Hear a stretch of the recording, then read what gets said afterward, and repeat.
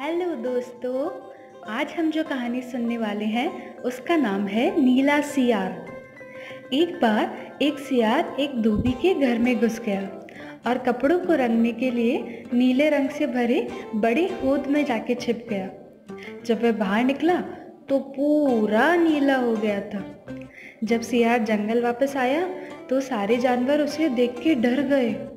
उन्हें समझ ही नहीं आया कि ये अजीब सा जानवर कौन है। सियार बोला, डरने की कोई बात नहीं है। मुझे भगवान ने विशेष तौर पर बनाया है। उसने मुझे तुम लोगों का राजा बनाकर भेजा है। जंगल के सभी जानवरों ने उसे अपना राजा मान लिया। एक दिन जब नीला सियार अपना दरबार लगाए बैठा था तभी उसे कुछ और सियारों के चिल्लाने की आवाज़ें सुनाई दी।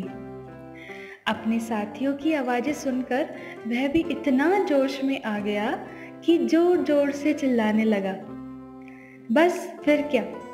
सारे जानवर समझ गए कि उनका ये राजा कोई और नहीं है, बल्कि सियार ही है। वे सब लोग बहुत नाराज़ हुए। और उन सबने मिलकर सियार की खूब पिटाई की, खूब पिटाई की और उसको वहाँ से भगा दिया।